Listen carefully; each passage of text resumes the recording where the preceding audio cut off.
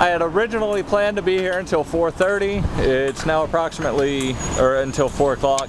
It's now approximately 1.30 and I am almost out of flyers. Uh, I've had very pleasant interaction with people here at the Homewood Post Office.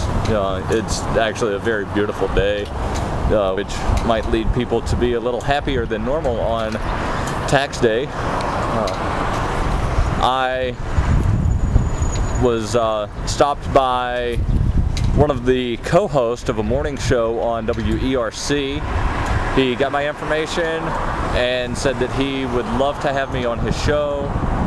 So I should be on, uh, I believe it's Steve and Lori or Steve and Laura on WERC AM 960 one day next week. I will give info on that.